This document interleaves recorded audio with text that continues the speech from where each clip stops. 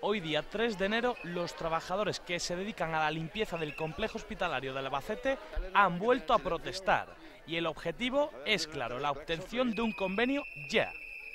Si esta situación no mejora, los trabajadores avisan que las medidas próximas pueden ser muy duras para la empresa.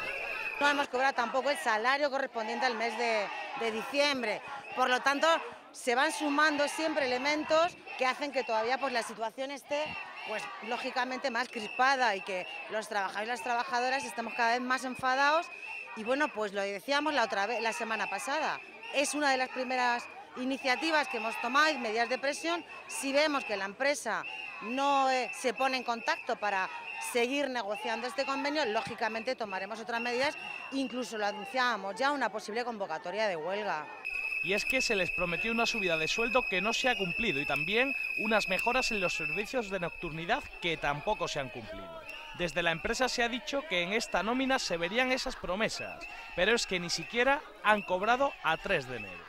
Han dicho que este mes, pero ante tanta ya falta de fiabilidad por parte de la empresa, lógicamente, pues no creemos que sea así, que lo vayan a, pagar en esta nómina. Como ya digo, todavía no hemos cobrado a día de hoy. La fiabilidad que tienen los trabajadores en la empresa es cero y es que dicen que dicha empresa no cumple ni siquiera los convenios que se vienen aplicando de años atrás.